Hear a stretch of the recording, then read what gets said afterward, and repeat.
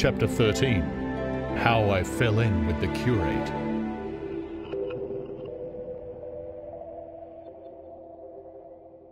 After getting this sudden lesson in the power of terrestrial weapons, the Martians retreated to their original position upon Horsell Common, and in their haste, and encumbered with the debris of their smashed companion, they no doubt overlooked many such a stray and negligible victim as myself.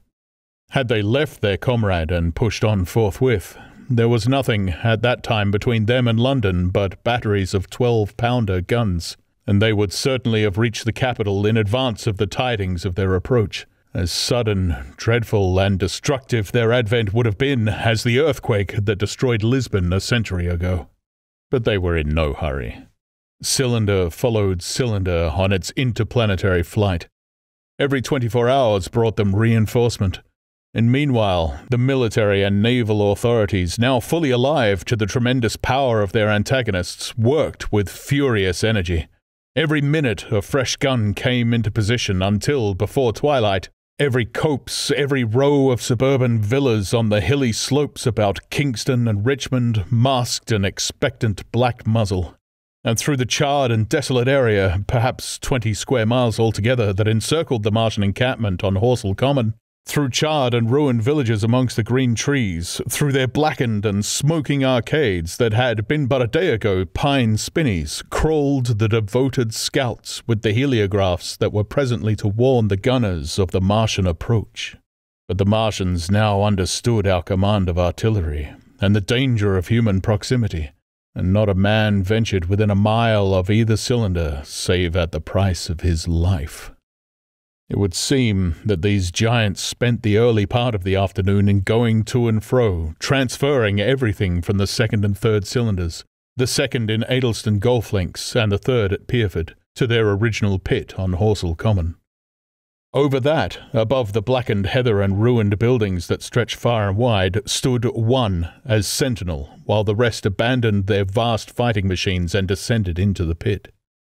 They were hard at work there far into the night, and the towering pillar of dense green smoke that rose therefrom could be seen from the hills about Merrow, and even, it is said, from Banstead and Epsom Downs. And while the Martians behind me were thus preparing for their next sally, and in front of me humanity gathered for the battle, I made my way with infinite pains and labour from the fire and smoke of burning Weybridge towards London. I saw an abandoned boat, very small and remote, drifting downstream, and throwing off the most of my sodden clothes, I went after it, gained it, and so escaped out of that destruction.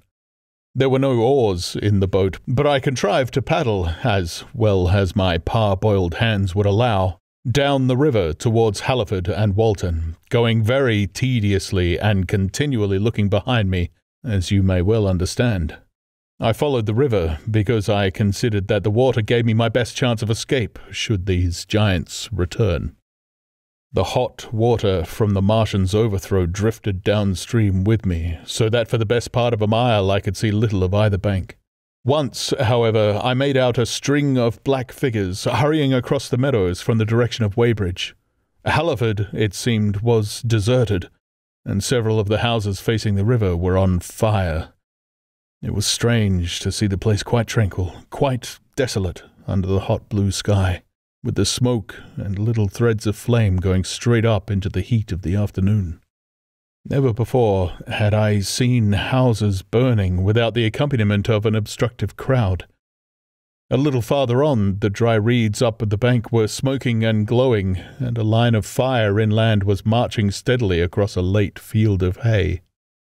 For a long time I drifted, so painful and weary was I after the violence I had been through, and so intense the heat upon the water. Then my fears got the better of me again, and I resumed my paddling. The sun scorched my bare back. At last, as the bridge at Walton was coming into sight round the bend, my fever and faintness overcame my fears, and I landed on the Middlesex bank and lay down deadly sick amid the long grass. I suppose the time was then about four or five o'clock. I got up presently, walked perhaps half a mile without meeting a soul, and then lay down again in the shadow of a hedge. I seem to remember talking wonderingly to myself during that last spurt. I was also very thirsty, and bitterly regretful I had drunk no more water. It is a curious thing that I felt angry with my wife. I cannot account for it, but my impotent desire to reach Leatherhead worried me excessively. I do not remember the arrival of the curate, so that probably I dozed. I became aware of him as a seated figure in soot smudged shirt sleeves, and with his upturned, clean shaven face staring at a faint flickering that danced over the sky. The sky was what is called a mackerel sky, rows and rows of faint down plumes of cloud, just tinted with the midsummer sunset. I sat up, and at the rustle of my motion he looked at me quickly. Have, have you any water? I asked abruptly. He shook his head. You have been asking for water for the last hour, he said. For a moment we were silent, taking stock of each other. I dare say he found me a strange enough figure, naked, save for my water soaked trousers and socks, scalded, and my face and shoulders blackened by the smoke. His face was a fair weakness, his chin retreated, and his hair lay in crisp, almost flaxen curls on his low forehead. His eyes were rather large, pale blue, and blankly staring. He spoke abruptly, looking vacantly away from me. What does it mean? he said.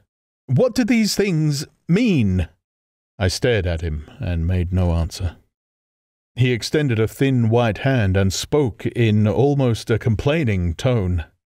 Why are these things permitted? What sins have we done?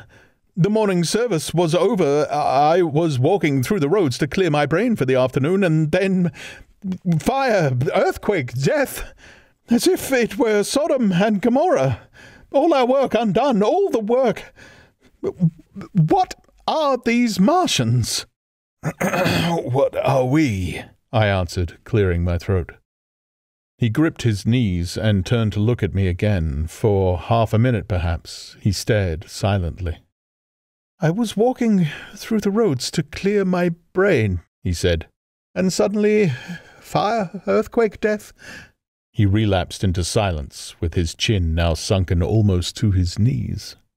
Presently he began waving his hand.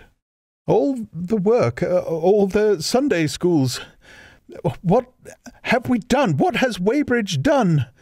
Everything gone, everything destroyed. The church, we rebuilt it only three years ago. Gone, swept out of existence. W- why? Another pause, and he broke out again like one demented. The smoke of her burning goeth up for ever and ever, he shouted. His eyes flamed, and he pointed a lean finger in the direction of Weybridge. By this time, I was beginning to take his measure. The tremendous tragedy in which he had been involved, it was evident he was a fugitive from Weybridge, had driven him to the very edge of his reason. Are we. are we far from Sunbury? Only this morning I officiated at an early celebration.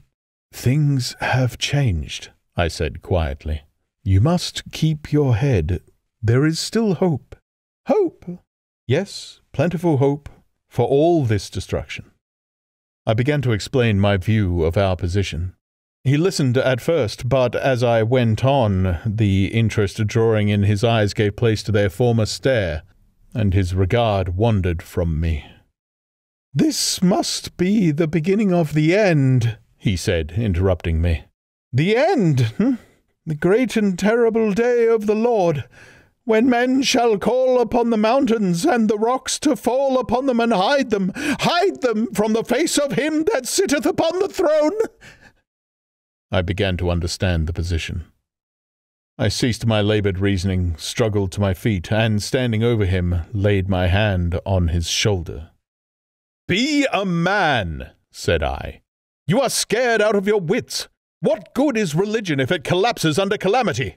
Think of what earthquakes and floods, wars and volcanoes have done before to men. Do you think God has exempted Weybridge? He is not an insurance agent. For a time he sat in blank silence. But uh, how can we escape? he asked suddenly.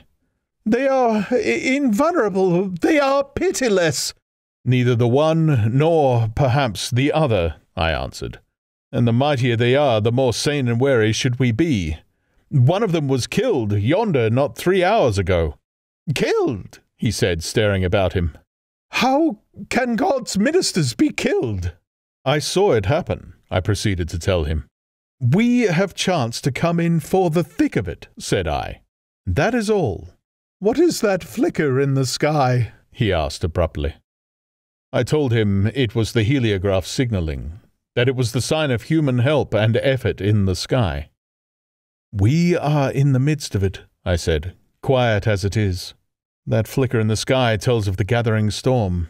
Yonder, I take it, are the Martians, and London Londonward, where those hills rise about Richmond and Kingston and the trees give cover.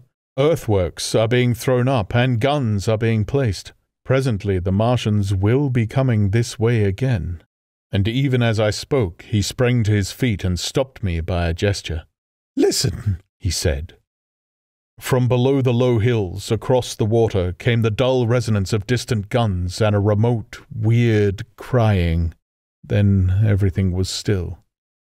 A cockchafer came droning over the hedge and past us. High in the west, the crescent moon hung faint and pale above the smoke of Weybridge and Shepperton and the hot, still splendor of the sunset. We had better follow this path, I said, northward